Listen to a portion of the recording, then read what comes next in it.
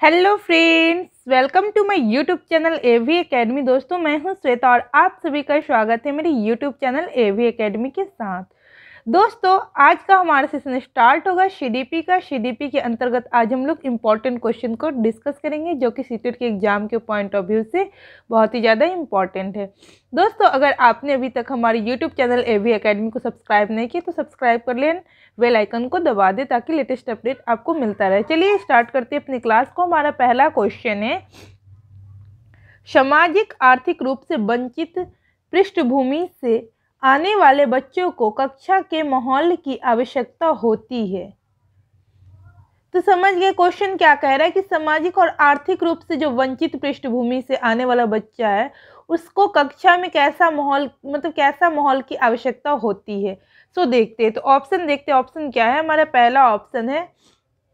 Option number ए उनकी भाषा के उपयोग को हस, हर्षो उत्साहित करता है ताकि वे मुख्य धारा की भाषा सीख सके। हस, हतो उत्साहित करना। ये तो कहीं भी सही नहीं तो हमारा ये पहला ऑप्शन गलत होगा। क्योंकि प्रोत्साहित करना यहीं पे दिया रहता है। हतो उत्साहित और प्रोत्साहित को समझिए। तो हतो उत्साहित करना यानी कि उसकी, जो भी उनकी भाषा है, उसको नहीं मानना। उसका कटाक्ष करना तो हमारा सही नहीं होगा। यहाँ पे अगर यही बात रहता कि उनकी भाषा को प्रोत्साहित किया जाए, भाषा के उपयोग को तो ये हमारा सही होता बट ए हतोत्साहित लिखा हुआ है तो हमारा ऑप्शन नंबर ए गलत है, क्योंकि क्वेश्चन हमारा पॉजिटिव है तो आंसर भी हमारा पॉजिटिव होगा। नेक्स्ट ऑप्शन नंबर बी है, बच्चों को उनकी क्षमताओं के आधार पर वर्गी, वर्गीकृत करना। तो ये भी सही नहीं है। बच्चों की क्षमताओं पर वर्गीकृत करना। अलग अलग श्रेणियों में अगर बांट देंगे तो जो तेज बच्चा और कमज़ोर बच्चा के बीच में और भी भिन्नता बढ़ती जाएगी तो हम श्रेणियों में नहीं बांट सकते हैं। ठीक है, हर किसी का अलग लेवल होता है, समझने का, पठन करने का तो सोचन शक्ति का, हर चीज़ में अलग अलग भिन्नताएँ मिलती हैं लोगों में। तो इसका ये मतलब नहीं कि हम क्लास में अलग अलग वर्ग मतलब अलग अलग श्रेणी में बच्चे को बांट देते। ये भी हमारा सही जवाब नहीं है। ऑप्शन नंबर सी उन्हें अच्छा व्यवहार सिखाता है। और ऑप्शन नंबर डी है, उनके सांस्कृतिक और भाषाई ज्ञान को महत्व देता है तथा उनका उपयोग करता है। तो ऑप्शन नंबर डी ही हमारा सही होगा सी भी गलत है। उनके उनके सांस्कृतिक और भाषाई ज्ञान को महत्व देता है तथा उनका उपयोग करता है। तो यही सही होगा। चलिए नेक्स्ट क्वेश्चन देखते हैं हम।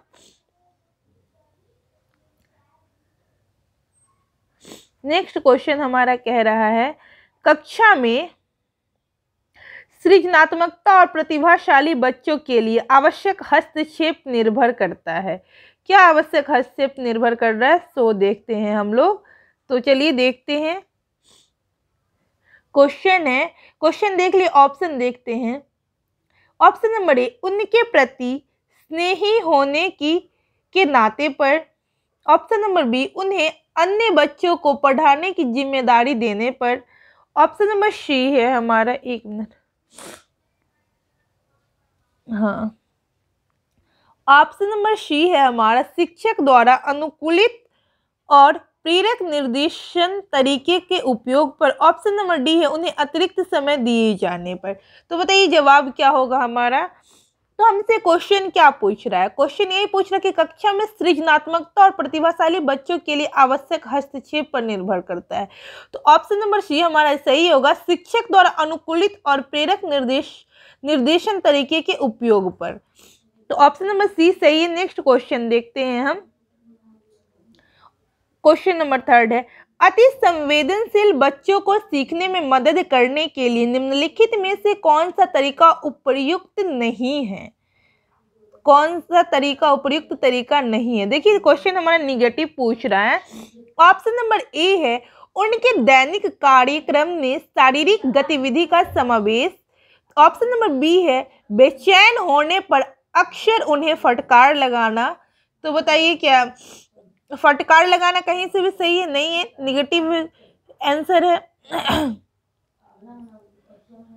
एक मिनट क्वेश्चन क्या कर रहा है, इसको फिर से समझते अति संवेदनशील बच्चों को सीखने में मदद करने के लिए, निम्नलिखित में से कौन सा तरीका उपयुक्त तरीका नहीं है? अच्छा क्वेश्चन हमारा निगेटिव ही पूछ रहा है। सॉरी हम गलत बता दिए। क्वेश्चन हमारा निगेटिव पूछ रहा है तो जवाब भी निगेटिव होगा। उनके दैनिक कार्यक्रम में शारीरिक गतिविधि का समावेश तो ये हमारा पॉजिटिव आंसर है। फिर नेक्स्ट है बेचैन होने पर अक्सर उन्हें फटकार लगाना। यही हमारा निगेटिव आंसर है, जो हमसे क्वेश्चन पूछ रहा है, वही तो जवाब भी यही होना चाहिए, लेकिन नेक्स्ट ऑप्शन देख लेते हैं हम लोग। ऑप्शन नंबर सी है, एक कार्य को छोटे प्रबंधीय खंडों में तोड़ना। ऑप्शन नंबर डी है, अधिक अधिगम के वैकल्पिक तरीकों की पेशकश। तो ऑप्शन नंबर बी जो होगा, वही हमारा सही होगा इस क्वेश्चन के मुताबिक, क्योंकि क्वेश्चन हमारा निगेटिव है तो जवाब भी हमारा निगेटिव होगा। तो ऑप्शन नंबर बी हमारा इसका जवाब होगा कि बेचैन होने पर अक्सर उन्हें फटकार लगाना यही आंसर है। चलिए नेक्स्ट क्वेश्चन देखते हैं। अलग अलग सोच वाले पैटर्न उन बच्चों की पहचान करते हैं जो ऑप्शन नंबर ए सृजनात्मक है। ऑप्शन नंबर बी प्रत्याश प्रत्यास्थाई है। ऑप्शन नंबर सी विकलांग है। ऑप्शन नंबर डी डिसलेक्सिक है। तो क्या जवाब होगा? इसका जवाब होगा ऑप्शन नंबर ए सृजनात्मक है। क्योंकि अलग अलग सोच वाले बच्चे को क्या कहा जाता है? सृजनात्मक सोच रखता है अलग अलग तो वही हमारा जवाब होगा सृजनात्मक है। चलिए नेक्स्ट क्वेश्चन देखते हैं। निम्नलिखित में से कौन सा शिक्षक द्वारा कक्षा में बच्चों के लिए समस्या हल करने के तरीकों का वर्णन नहीं कर सकता है? देखिए, फिर से निगेटिव क्वेश्चन है। नहीं वाला क्वेश्चन को ध्यान रखिएगा। अक्सर बच्चे इसी में गलती करते हैं तो आप लोग को वो गलती नहीं करना है। चलिए, देखते हैं तो इसका ऑप्शन क्या कह रहा है? एक मिनट हाँ। ऑप्शन नंबर ए है सोच विचार ऑप्शन नंबर ए कह रहा है हमारा, सोच विचार, परीक्षण और विभिन्न उत्तर, उत्तरों जैसे शब्दावली का प्रयोग करना। ठीक है? नेक्स्ट है हमारा इसका आंसर अभिशरण उत्तर वाले प्रश्न पूछना। ऑप्शन नंबर सी किसी विशेष समस्या को हल करने के बारे में अपने विचार प्रक्रियाओं पर चर्चा करना। ऑप्शन नंबर डी है कुछ हल करते समय गलतियों को करने के प्रति ईमानदार रहना। तो ऑप्शन हमारा क्वेश्चन पूछा है निगेटिव तो जवाब भी हमारा निगेटिव होगा। तो क्या जवाब होगा इसका? ऑप्शन नंबर बी अविशरण उत्तर वाले प्रश्न पूछना। यही हमारा निगेटिव है। क्वेश्चन के मुताबिक यही आंसर होगा। नेक्स्ट देखते हैं हम लोग। निम्नलिखित में से निम्नलिखित में से संवेग है। क्या है? निम्नलिखित में से कौन सा एक संवेग है? ऑप्शन नंबर ए है हमारा ध्यान, ऑप्शन नंबर बी है उत्तेजना, ऑप्शन नंबर सी है स्मृति, ऑप्शन नंबर डी है डर। तो संवेग कौन सा है? तो ऑप्शन नंबर डी है, जो डर है, संवेग है।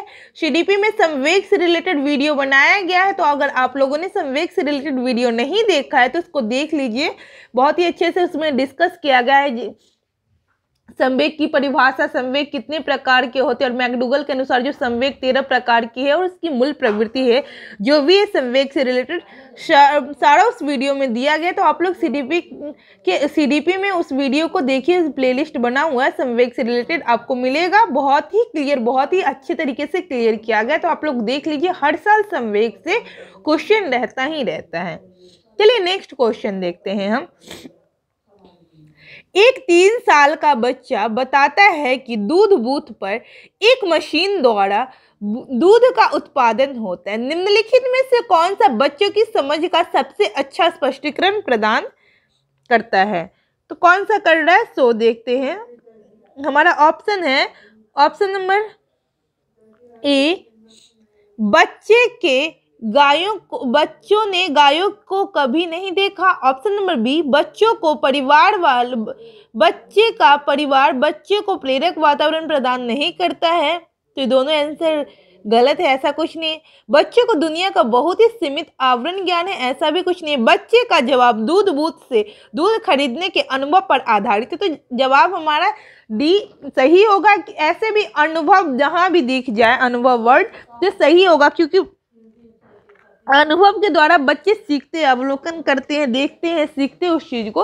तो बच्चे अपने अनुभव के द्वारा इस बात को, अपने बात को रख रहे हैं तो हमारा जवाब सही होगा, यही आंसर होगा। तो इस चीज़ को आप लोग ध्यान रखिएगा। चलिए नेक्स्ट क्वेश्चन देखते हैं। निम्नलिखित में से कौन सा शिक्षक की भूमिका का सबसे अच्छा वर्णन करता है? ऑप्शन नंबर ए है, पाठ्यक्रम को समय पर पूरा करने के साथ साथ दोहराने के लिए पर्याप्त समय दे पर्याप्त समय देना महत्वपूर्ण होता है। ऑप्शन नंबर बी देखते हैं क्या है, कह रहा है। ऑप्शन नंबर बी कह रहा है, आराम के लिए जगह बनाना जहाँ बच्चे संवाद और पूछताछ के माध्यम से सीखते हैं। ऑप्शन नंबर सी है, कक्षा में शिक्षक की सबसे महत्वपूर्ण भूमिका अनुशासन को बनाए रखना है। ऑप्शन नंबर डी है, एक शिक्षक को निर्धारित पाठ्य पुस्तक का पालन करना चाहिए। तो ये हमारा ऑप्शन नंबर डी गलत होगा, ज़रूरी नहीं है कि निर्धारित पाठ्य पुस्तक का पालन करने ही। सबसे अच्छा उदाहरण होगा शिक्षक की भूमिका का तो गलत है। ऑप्शन नंबर सी भी गलत है कि क्या कह रहा है? कक्षा में शिक्षक की सबसे महत्वपूर्ण भूमिका अनुशासन बनाए रखना। अनुशासन ज़रूरी है बट उस महत्वपूर्ण भूमिका अनुशासन बनाए रखना ये सही नहीं है। चलिए ऑप्शन नंबर ए देखते हैं। पाठ्य को पाठ्य को समय पर पूरा करने के साथ दोहराने के लिए पर्याप्त समय देना। तो इस सबसे ज़्यादा सही जो है इसमें जो ऑप्शन नंबर बी सही होगा, आराम के लिए जगह बनाना, जहाँ बच्चे संवाद और पूछताछ के माध्यम से सीखते हैं। यही सही होगा क्योंकि बच्चों के अनुकूल जगह बना देना जहाँ बच्चे सही तरीके से संवाद के ज़रिए और पूछताछ के ज़रिए सीख सके। तो उनके अनुकूल जगह अगर हम बना देते तो बच्चे वहाँ पे अपना संवाद और पूछताछ के ज़रिए सीख सकते तो यही हमारा सही जवाब होगा क्वेश्चन के मुताबिक। चलिए नेक्स्ट क्वेश्चन देखते हैं। क्वेश्चन नेक्स्ट क्वेश्चन है क्वेश्चन नंबर नाइन निम्नलिखित में से कौन सी कक्षा समृद्ध शिक्षा को प्रोत्साहित करती है?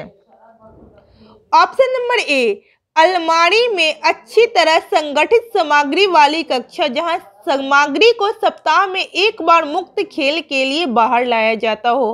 ऑप्शन नंबर बी है हमारा पाठ्य पुस्तक सामग्री द्वारा संचालित सं, संरक्षित और योजनाबद्ध अधिगम वाली कक्षा।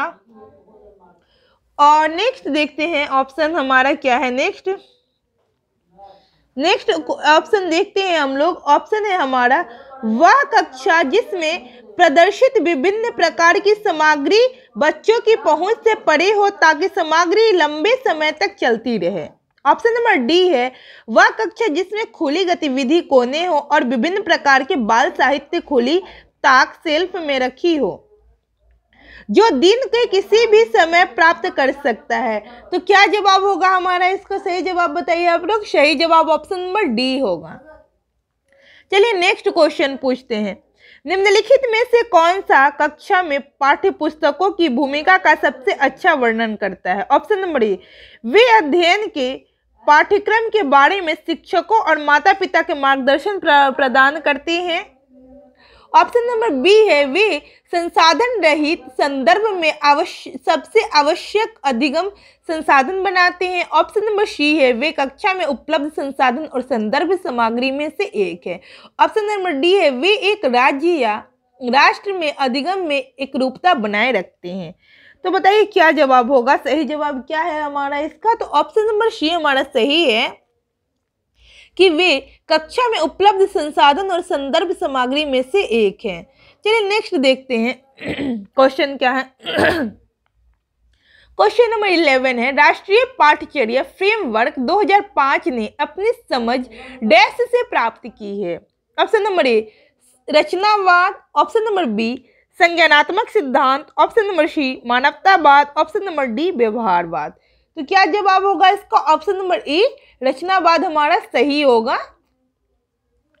चलिए नेक्स्ट क्वेश्चन देखते हैं ऑप्शन क्वेश्चन नंबर बारह। कक्षा में बच्चे को प्रेरित समझा जा सकता है यदि। कैसे प्रेरित समझा जा सकता है? तो बताइए जवाब कौन सा होगा? देखते हैं ऑप्शन नंबर ए वे सभी उपस्थिति में नियमित हैं। ऑप्शन नंबर बी, वे शिक्षक से स्पष्टीकरण प्राप्त करने के लिए प्रश्न पूछते हैं। ऑप्शन नंबर सी, वे अच्छी तरी, तरह से वर्दी पहनने स्कूल में आते हैं। ऑप्शन नंबर डी, वे कक्षा में अनुशासन बनाए रखते हैं। तो बताइए, जवाब क्या होगा इसका? तो जवाब हमारा बी नंबर होगा। क्या क्या क्वेश्चन जो कह रहा है कि कक्षा में बच्चे को प्रेरित समझा जा सकता है। वे शिक्षकों से स्पष्टीकरण प्राप्त करने के लिए प्रश्न पूछते हो तब। क्योंकि बच्चे अगर समझ रहे हैं, प्रेरित है, प्रेरणा ले रहे उस चीज़ से, उस क्वेश्चन को समझ रहे हैं तो आराम से उसको हल कर सकते हैं। तो इसीलिए क्वेश्चन पूछेंगे तो पता चलेगा कि हाँ बच्चे इसमें इंटरेस्ट ले रहे हैं, प्रेरित है इस चीज़ से। तो हमारा जवाब ऑप्शन नंबर बी सही होगा। नेक्स्ट देखते हैं। निम्नलिखित में से कौन सा बच्चों के अधिगम में सुधार करने के लिए सबसे उपयुक्त है? ऑप्शन नंबर ए कक्षा में सभी प्रकार की शिक्षण सामग्री होनी चाहिए। ऑप्शन नंबर बी शिक्षक को वास्तविक जीवन स्थिति पर बच्चों को एक दूसरे के साथ बातचीत करने में मदद करनी चाहिए। ऑप्शन नंबर सी नियमित मूल्यांकन परीक्षा आयोजित की जानी चाहिए। ऑप्शन नंबर डी शिक्षक को विभिन्न उदाहरणों और चित्रों का उपयोग करके विषय की व्याख्या करनी चाहिए। तो हमारा जवाब ऑप्शन नंबर बी होगा कि शिक्षक को वास्तविक जीवन स्थितियों पर बच्चों को एक दूसरे के साथ बातचीत करने में मदद करनी चाहिए, ताकि बच्चे और ज़्यादा सीख सके। चलिए नेक्स्ट क्वेश्चन देखते हैं हम लोग। नेक्स्ट क्वेश्चन है हमारा। Question number fourteen question number fourteen है अनुशासन जो अधिगम वातावरण में एक महत्वपूर्ण भूमिका निभाता है किस तरह की मदद करता है? ऑप्शन नंबर ए शिक्षकों को निर्देश निर्देश देने में। ऑप्शन नंबर बी बच्चों को उन, उनके पाठ रटकर याद करने में। ऑप्शन नंबर सी बच्चों को अपनी शिक्षा को विनियमित और मॉनिटर करने के लिए। ऑप्शन नंबर डी चुप्पी साधे रहने के लिए। तो बताइए, इसका जवाब क्या होगा? ऑप्शन नंबर सी जो होगा, जो हमारा सही है कि बच्चे को अपने शिक्षा को विनियमित और मॉनिटर करने के लिए अनुशासन और अनुशासन जो अधिगम में, अधिगम वातावरण में एक महत्वपूर्ण भूमिका निभा सकती है। चलिए नेक्स्ट देखते हैं क्वेश्चन नंबर फिफ्टीन क्या है हमारा? अनुवांशिकता और पर्यावरण की भूमिका के बारे में निम्नलिखित में से कौन सा कथन सत्य है? ऑप्शन नंबर ए अच्छी देखभाल और पौष्टिक आहार बच्चों को के किसी भी जन्मजात विकार को दूर कर सकता है। ऑप्शन नंबर बी पर्यावरण केवल बच्चों के भाषा विकास में महत्वपूर्ण भूमिका निभाता है। ऑप्शन नंबर डी सी है हमारा बच, विकास के कुछ पहलू अनुवांशिकता और कुछ अन्य महत्वपूर्ण से अधिक प्रभावित होते हैं। ऑप्शन नंबर डी है, सीखने और प्रदर्शन करने की एक बच्चे की क्षमता, जिनों द्वारा पूरी पूरी तरह से निर्धारित की जाती है। तो बताइए कि जवाब हमारा क्या सही होगा? क्वेश्चन हमसे क्या पूछ रहा है? अनुवांशिकता और पर्यावरण की भूमिका के बारे में निम्नलिखित में से कौन सा कथन सही होगा? आप लोगों को मैंने, मैं पढ़ाई हूँ सीडीपी के अंतर्गत ही कि बच्चों का जो विकास होता है, उसमें अनुवांशिकता और पर्यावरण। दोनों का ही सहयोग होता है, दोनों का ही योगदान होता है, उससे बच्चों का विकास होता है। तो उसके अकॉर्डिंग हमारा जवाब क्या सही होगा? क्वेश्चन हमसे क्या पूछ रहा है? तो यही पूछ रहा है कि अनुवांशिकता और पर्यावरण की भूमिका के बारे में निम्नलिखित में से कौन सा कथन सत्य है, सो बताइए। तो ऑप्शन नंबर सी हमारा सही है, सही जवाब होगा क्योंकि विकास के कुछ पहलू अनुवांशिकता और कुछ अन्य महत्वपूर्ण अन्य महत्वपूर्ण का मतलब है कि वातावरण से अधिक प्रभावित होता है। तो इसमें देखिए अनुवांशिकता और वातावरण दोनों की बात की गई है। अन्य ऑप्शन में ऐसा कुछ नहीं देखने को मिल रहा है। तो हमारा जवाब जो होगा, सो ऑप्शन नंबर सी सही होगा। ये बहुत ही इस इस टाइप का क्वेश्चन भी हर साल पूछता ही, पूछता है सीटेड तो दोस्तों, उम्मीद करती हूँ कि हमारा ये क्लास आपको बहुत ही ज़्यादा हेल्पफुल है, बहुत ही ज़्यादा हेल्प करेगा। तो दोस्तों, इस, अगर आपको हमारा ये क्लास वीडियो पसंद आया होगा तो हमारे इस वीडियो को लाइक करें शेयर करें सब्सक्राइब करें हमारे YouTube channel A V academy को। Thanks for watching my video